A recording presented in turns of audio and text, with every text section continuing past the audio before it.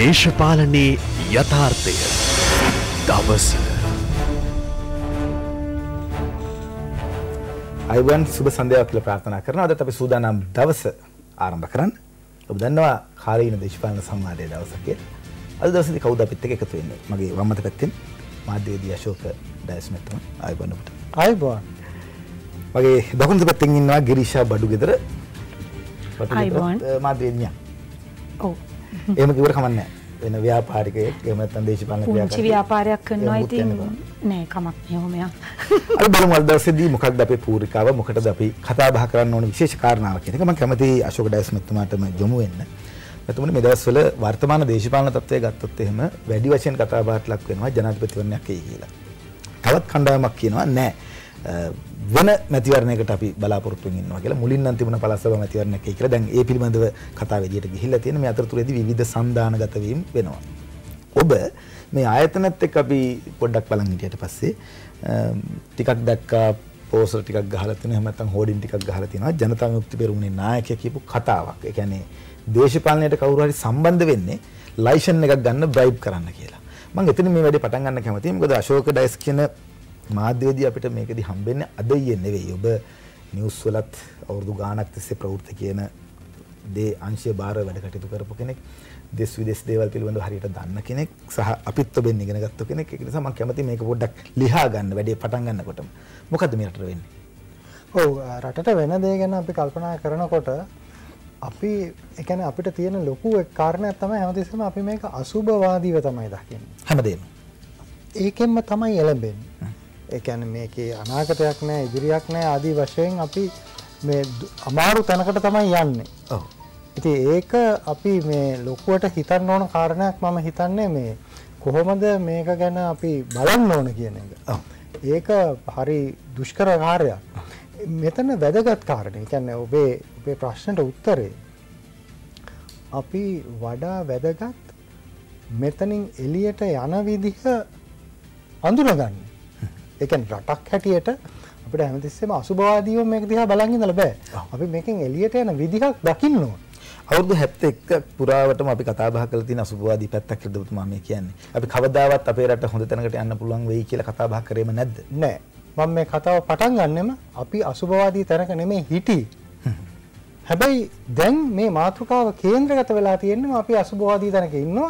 මෙකෙන් එහාට යන්න බෑ මෙතනින් ඉස්සරහට යන්න බෑ. මෙතනින් අපි තවත් ප්‍රපාතයට තමයි යන්නේ කියන තැනට ඇවිල්ලාම තමයි අද සංවාදයට ප්‍රවේශ වෙන්නේ. අශෝක මහත්මයා 2015 දී මේ අසුභවාදී තැනින් වෙනස් කරන්න ගිහිල්ලා වෙනස හොඳයි කියලා මම ඔබතුමාවත් දැක්ක මේ වේදිකාවේ. ඔබතුමා මේ ආණ්ඩු පෙරළෙන වේදිකාවේ හිටියේ නෑ. හැබැයි ඔවුන්ට වේදිකාවක් තනා දීමේදී අපි ඇතුළු මහරජා ආයතන ඇතුළු සියලු දෙනාම කටයුතු කරා යහපත් බලාපොරොත්තුවක් මේ රටට තියෙන්න ඕනේ කියලා අපි සුභවාදී වේග හිතුවේ. හැබැයි ඒක හරියාකාරව සිද්ධ නොවුනහම අපිම කියන්න ගත්තා නෑ. මේක ඒ තරම් සුභවාදී තත්ත්වයක් නෙවෙයි දැන් තියෙන්නේ කියලා. දැන් ඔබතුමා කියන සුභවාදී තැන කොතනින්ද අපි පටන් ගන්න ඕනේ? හරියට හරි. මම හිතන්නේ සුභවාදී තැනට යන්න තියෙන එකම එක ප්‍රවේශයයි. ඒ අපි මේ රටේ ප්‍රජාතන්ත්‍රවාදය තහවුරු කරගන්න ඕන.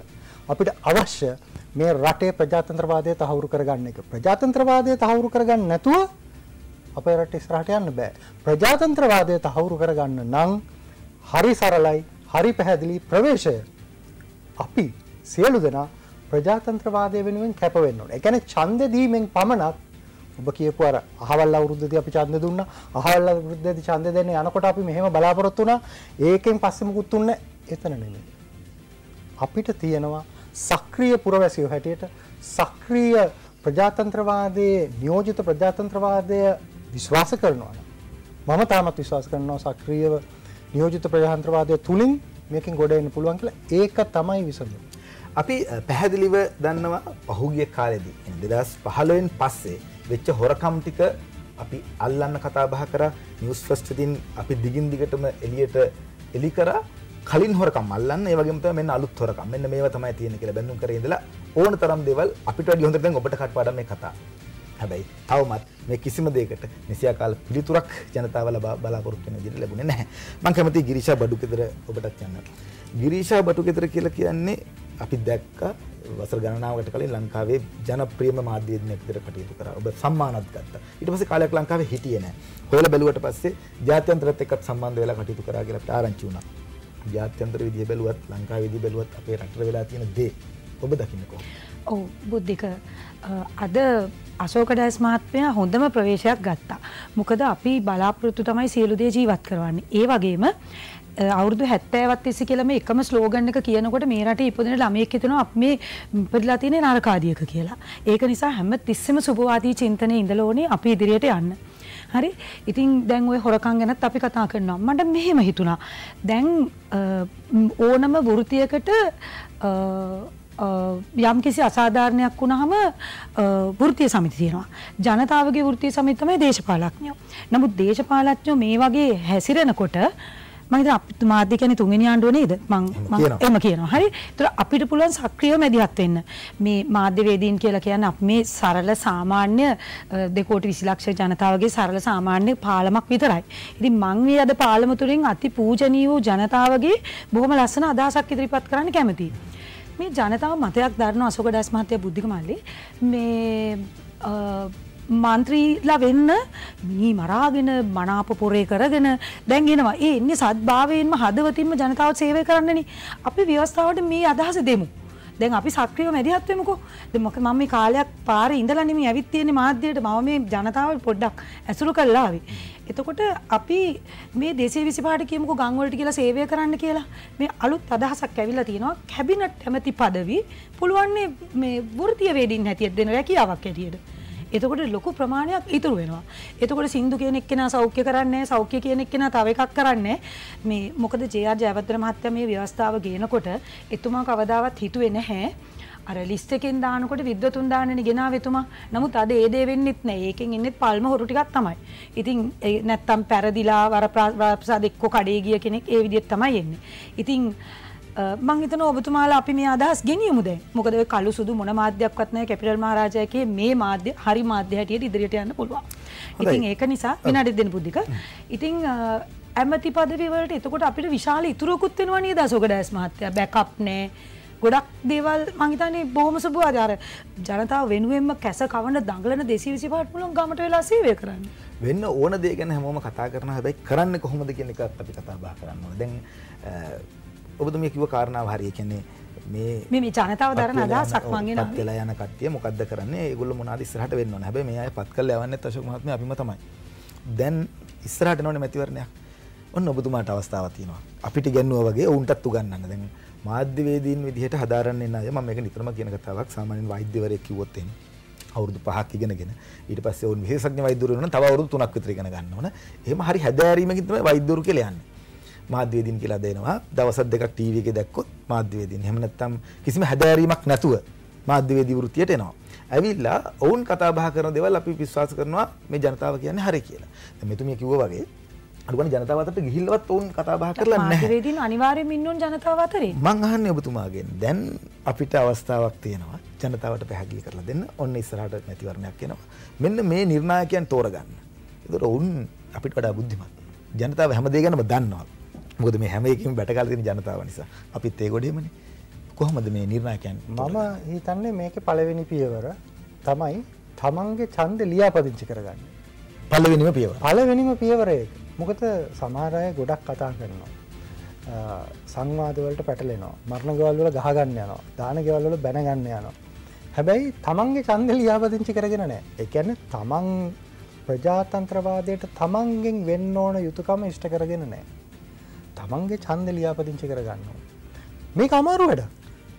ඡන්ද ලියාපදිංචි කරගන්නවා කියන එකත් අමාරු වැඩක්. ඒකට තමන් වෙලාවක් දාන්න ඕන. ඔව්. ඊළඟට මේ කොලේ පෝරමය ගෙනහිල්ල දුන්නයි කියමුකෝ එතනින් ඉවර වෙන්න නෑන තමන්ගේ නම මේ ලයිස්තුවට අන්තර්ගත වෙලාද ඒකත් වගේ මම මේ කියන්නේ වගකීම් හැමටම ප්‍රජාතන්තවාදය ආරක්ෂා කිරීමේ වගකීම දේශපාලනක්ෙන් විතරක් බාර දෙන්න එපා එහෙම බාරදී ලැබෑ මේක අපි අතර ගන්න ඕන අපි අතට ගැනීමේ යාන්ත්‍රණයේ පියවරංක එක අපේ ඡන්දය අපි තහවුරු කරගන්න. අපිට ඡන්දයක් තියෙන්න ඕන. අපේ ඡන්දේ ලියාපදිංචි වෙලා තියෙන්න ඕන.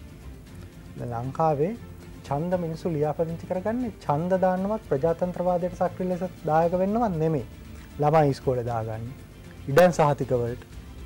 ඒ කියන්නේ පුද්ගලයෝ හැටියට අපි අපේ ප්‍රජාතන්ත්‍රවාදී වගකීමෙන් එළියට. ඔව්. එහෙම බෑ. තමන් ප්‍රජාතන්ත්‍රවාදීව මේක ඇතුළට ඕන. දෙක දාන්න ඕන. මේක අපිට අදාළ නැහැ කියලා ඉන්න බෑ. ඡන්දෙ දාන්න ඕන. ඡන්දෙ දාන්න හරියට අවබෝධයක් ඇති කරගන්න. ඒ කියන්නේ අපි මේක මේ සංකල්පය දේශපාලන විද්‍යාව පැහැදිලි කරනවා ඉන්ෆෝම්ඩ් ඩිසිෂන්. තොරතුරු දැනගෙන ඩිසිෂන් එක තොරතුරු දැනගෙන තීරණය කරන්න. හරි තීරණයක් ගන්නවා. එතකොට මේ හරි තීරණය හරි තීරණය ගන්න යද්දී තියෙන ප්‍රධාන ගා- බාධකය මොකක්ද? එකක් අපි ඔට්ටු වෙනවා අපි හිර වෙනවා සමහර පොඩි පොඩි වරප්‍රසාද සහ වරදානවා. දැන් හැමතිස්සෙම දේශපාලනට දොස් කියනවනේ. දේශපාලනක් කියනට අපිට ලේසි අපි දොස් කියනවා. අපි කියනවා ඒගොල්ලෝ බඩු බෙදනවා. බෙදනමයි කියන එකේ ලයිස්තුව කැලෙන්ඩර් වල ඉඳලා ගෙවල් දොරවල් වෙනකම තියෙනවා. තාකරන් වල ඉඳලා ගෙවල් දොරවල් දෙන පොරොන්දු දක්වා තියෙනවා. ගෙවල් දොරවල් රැකියා පොරොන්දු දක්වා තියෙන. හැබැයි අපි ප්‍රජාතන්ත්‍රවාදය අගයන පුරවැසියෝ නම් අපි ඡන්ද දෙන්න ඕන ඒවා දිහා බලලද මම හිතන්නේ ඒක ප්‍රශ්නයක්. ප්‍රජාතන්ත්‍රවාදයට එකතු වෙන්න ඕන නම් ඔව්. අන්න අපි අපේ ප්‍රජාතන්ත්‍රවාදී වගකීමක් තේරුම් ගමු. අශෝක දැස් මහත්මයා අ, හොඳ කතාවක් කියනවා දැන් මුලින්ම තමන්ගේ ඡන්දය තමන්ට තියෙනවද කියලා. ඔබට ඔබේ ඡන්දය තියෙනවද කියලා බලන්න පුළුවන්. මැතිවරණ කොමිෂන් සභාවේ තියෙනවා වෙබ් අඩවියක්. මේ වෙබ් අඩවිය elections.government.lk කියන එක elections.gov.lk කියන වෙබ් අඩවියට ගිහිල්ලා ඔබගේ අයිදුම්පත් අඩිකාඩ නම්බර එක එහෙම නැත්නම් හැඳුනුපත් අංකය ඒකට යොදලා පුළුවන් ඔබ මේකට රෙජිස්ටර් වෙලාද නැද්ද කියලා බලන්න. එහෙම නැත්නම් ග්‍රාම සෙකුන්දාරි හම්බෙලා තමන්ගේ වැඩ කටයුතු කරගන්න පුළුවන්. එහෙමත් නැත්නම් මැතිවරණ කොමිෂන් සභාවට පැමිණිල්ලක් කරන්න පුළුවන්. මේක තමයි ඒ தත්ත්වය.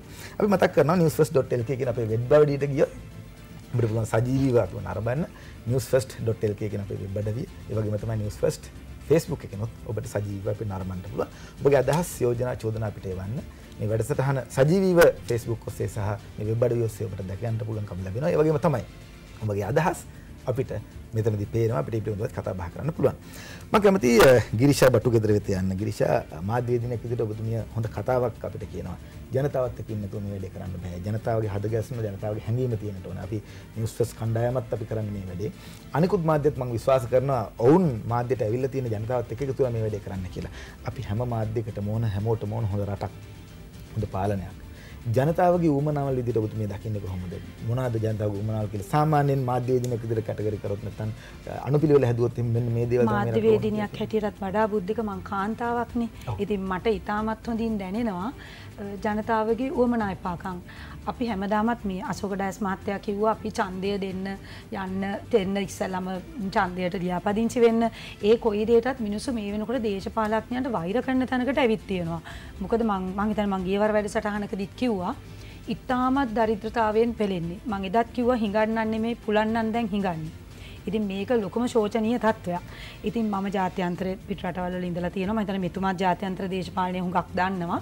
ඉතින් ඉතින් අ, කොහොම වුණත් මේ වෙනකොට දේශපාලඥයනුත් දැනගන්න ඕනේ හැමදාමත් නම් ගොනාට අන්දන්න බැරි වෙයි.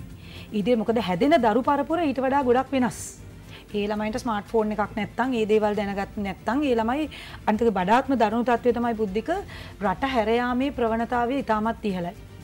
හරි ඒක තව අවුරුදු 10ක් යනකොට අපිට අපේ දරුවෙක් බලන්න වීසා එකක් අරගෙන පිට රටකට යන්න වෙයි.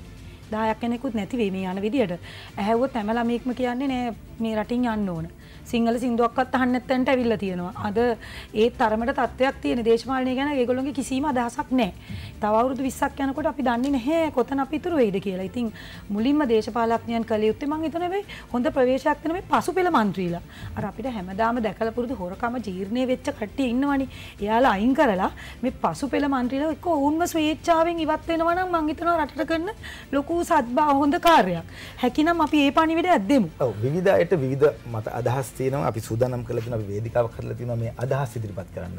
මම හිතන විදිය මොකක්ද අපි අවස්ථාව දීලා මම මේ තියෙනවා ජනතාව තුළ ඉඳලා ආපු ඉඳ මම හිතන්නේ ජනතාව හුඟක්ම හිතන්නේ මේ පරණ අය පුළුවන් නම් ඉල්ලාස් වෙන අලුත් අයට අලුත් අදහස් ටිකක් ලබා දෙන්න ඉඩ දෙන්න කියලා. එහෙම කෙනෙක් අපිත් එක්ක සම්බන්ධ වෙන අම්බලංගොඩ කුමාර මහත්මයා මේ ජනතාවගේ අදහස්.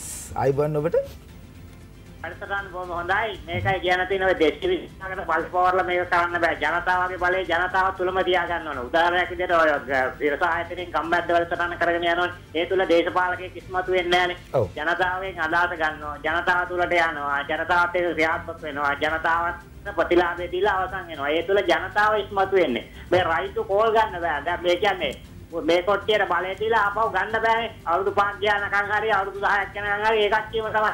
ඒව තමයි එන්නේ වැඩ පිළිවෙල හදාගෙන ගේම ගහගෙන එන්නේ. ඒක නිසා ජනතාවගේ බලය ජනතාව තුලම තියෙන්න ඕන. ඒක හොඳයි බොහොම ස්තුතියි. ඒ කුමාර මහත්මයා කතා කරේ අම්බලන්ගොඩින් අශෝක මහත්මයා මට ගැටලු කීපයක් තියෙනවා. මේ ඔබතුමා මේ වෙලාවේ ඉන්න වෙලාවේ මට හරි සතුටුයි. මේ ටික විසඳ ගන්න පුළුවන්. ප්‍රජාතන්ත්‍රවාදය කියලා අපි හැමතැනම කතා බහ කරගෙන යනවා. සමාජවාදය කියනවා ලිබරල් කියනවා. එක එක වාදවල් ගැන අපි කතා බහ කරනවා අනේ මට සරලව කියන්නකො මොකද්ද මේ ප්‍රජාතන්ත්‍රවාදය කියලා කියන්නේ? අපේ ගමේ මිනිස්සුන්ට සරලව තේරෙන අපි දිගින් දිගට මේ වැඩසටහන් වලදී කතා කරනවා අශෝක මහත්මයා ප්‍රජාතන්ත්‍රවාදය ඒක තියෙන්න ඕනේ ඒක තමයි මේකේ බලය තියෙන්නේ. ඒක නැත්තම් මේකට වැඩක් නැහැ. දෙයනේ මොකද්ද ප්‍රජාතන්ත්‍රවාදය හරි සරලයි. ප්‍රජාතන්ත්‍රවාදය කියන එක අන්තිම සරල සංකල්පයක්. ලෝකෝට සංකීර්ණ කරගන්න දෙයක් නැහැ. අමාරු වචන දාගන්න දෙයක් නැහැ. මේ සංකල්පය පටන් ගන්නෙ අපි අපි වෙනුවෙන් තීරණ ගන්න අපිට තියෙන අයිතිය. තෝරා ගැනීමේ අයිතිය අපි වෙනුවෙන් තීරණ ගන්න අපි වෙනුවෙන් ආණ්ඩු කරන්න. අපි වෙනුවෙන් ආණ්ඩු කරන්න.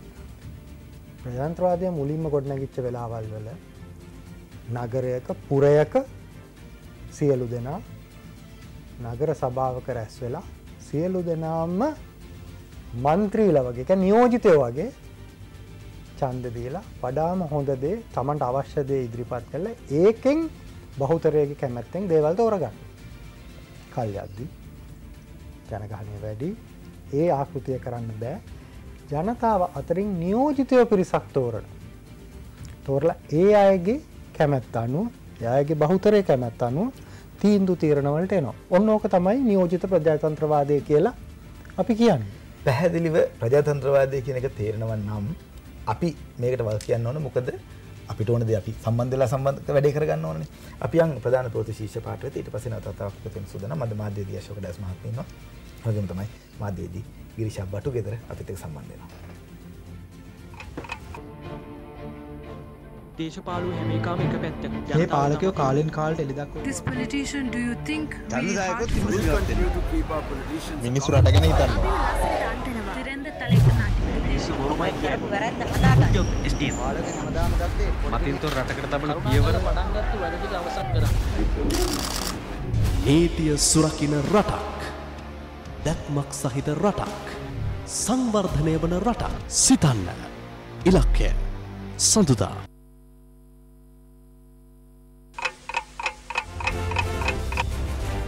දේශපාලනයේ යථාර්ථය.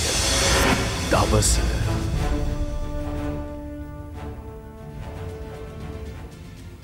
අපි නැවතත් දවස කාලින සංවාදයත් එක්ක එකතු වෙන්නේ.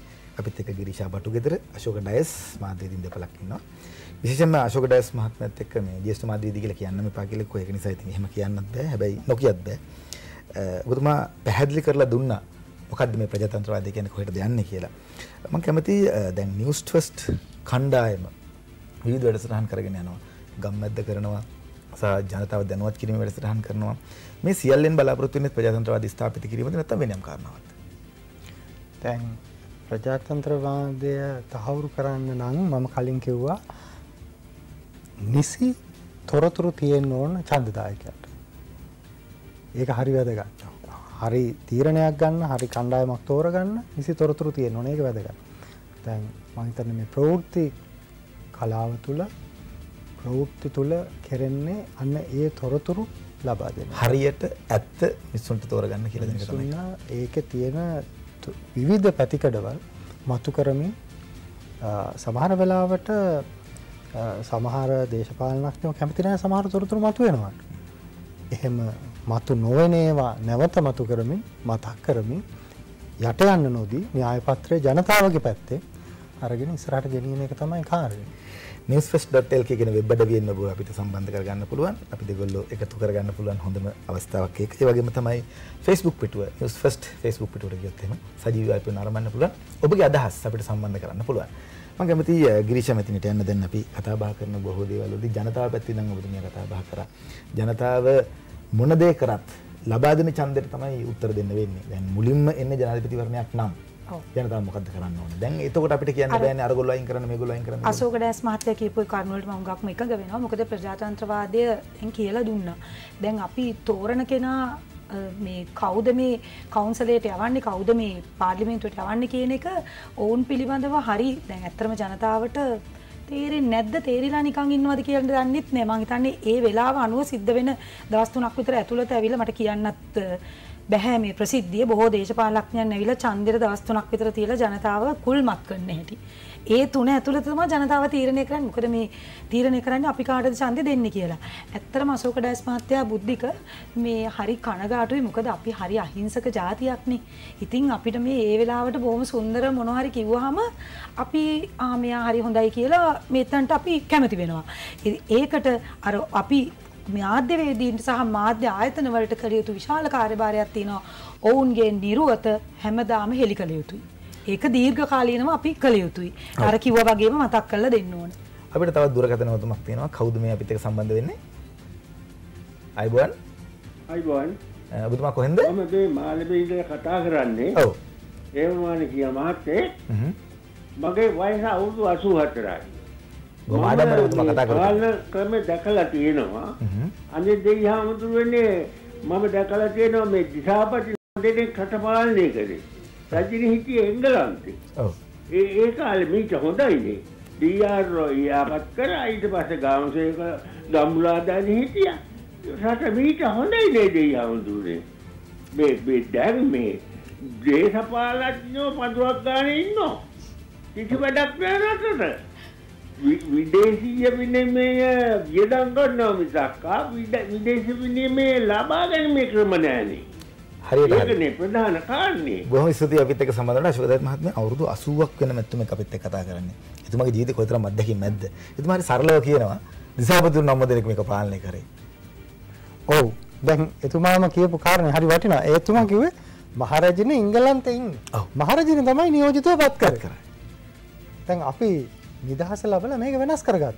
අපි තමයි දැන් නියෝජිතය පත් කරන මහරජන එන්නේ නෑ. අපි තමයි නියෝජිතය පත් කරන්න. දැන් එතුමා කියන ප්‍රජාතන්ත්‍රය දෙපා කියලාද කියන්නේ? නෑ එතුමා කියන්නේ එපා කියන එක නෙමෙයි. එතුමා මං හිතන්නේ මේ උත්ප්‍රාසය ගොඩනගන්න. මේක ඇතුලෙන් මේ තියෙන බොහොම විහිළුව විහිළුව සදය විවේචනයක් එතුමා කියන්නේ සදය කියන්නේ දයාව සහිතව මේ විවේචනය එතුමා කරලියට ගේන්නේ. මේකේ වැදගත් කාරණේ මේ අපි හැමදාම ඡන්දයකදී ඡන්ද දායකයා කියනවා නෑ ඒ වෙලාවේ අපි මෙහෙම හිතුවා. ඒ වෙලාවේ අපි මෙහෙම කරා. ඒ වෙලාවේ අපි මෙන්න මේ වගේ එකක් ගත්තා. ඊට පස්සේ ඒ කියන්නේ අපි මේකෙන් නිදහස් වෙනවා. ඒ කියන්නේ ඇයි අවසානයේ අපිනේ තීරණය කරන්නේ. අපිනේ ඡන්ද දෙන්නේ. එතකොට ඡන්ද දෙද්දී අපිටත් තියෙනවා රට ගැන හිතන වගකීම. පක්ෂ පාට දන්න අඳුරන කෙනා අසල්වැසියා මට අරක කරගන්න පුළුවන් කෙනා නෙමෙයි තෝරගන්න ඕන. අන්න එතනදී ඡන්දදායකයාට ඔබට මට බරපතල වගකීමක් තියෙනවා. ඒ වෙලාවේ රට ගැන හිතන්න. මට දැන් තියෙනවා ප්‍රශ්නයක්. ජාතික න්‍යාය පත්‍රය ගැන ඒ වෙලාවේ හිතන්න.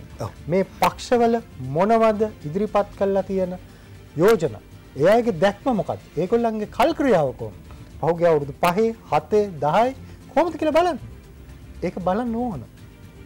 සහ ඒගොල්ලන්ගේ දැක්ම බලන්න. ඔබතුමාගේ හිතේ දැන් ඉන්නවද මේ ඉස්සරහට આવත් එහෙම මම මේ පුද්ගලික ප්‍රශ්නයක් අහන්නේ. ජනාධිපතිවරණය තමයි මුලින්ම එන්නේ කියලා අපි උපකල්පනය කරමු. දැන් හිතේ ඉන්නවද කෙනෙක් කවුරු මම? මම මම මේ මේ ප්‍රශ්නට උත්තර දෙන්න හරි කැමතියි. මම කියන්නේ අපි ඔබතුමා අහන ප්‍රශ්නේ හරි වැදගත්. මොකද සමහර අය කියනවා අපේ පරම්පරාවම කැපුවත් මේ පාට. අපි නම් මේ පක්ෂේ අපි නම් මේ දැන් එතන ඉන්නව නම් ඔය රට ගැන හිතලාද ඒ තීරණය ගන්න. එහෙම හිතනවා නම් තීරණය ගන්න රට ගැන හිතලා නෙමෙයි. සම්ප්‍රදාය තුල. තමන්ගේ අත්ත මුත්ත කරපු නිසා මේක කරන්න. හැබැයි ප්‍රජාතන්ත්‍රවාදය එහෙම අය මත යන දෙයක් නෙමෙයි. හොඳයි අපි වැඩසටහන අවසන් කරනවා හොඳ තැනකින් අවසන් කරන්නේ ගිරිෂා බටුගෙදර බොහොම ස්තුතියි අපිට එක්ක සම්බන්ධ වුණාට අශෝක ඩයස් මහත්මයාට බොහොම ස්තුතියි රටකද හිතලා තීරණයක් ගන්න එයයි අපේ බලාපොරොත්තුව රාත්‍රී 7ට තව මිනිත්තු දෙකයි තියෙන්නේ ප්‍රවෘත්ති බලාපොරොත්තුව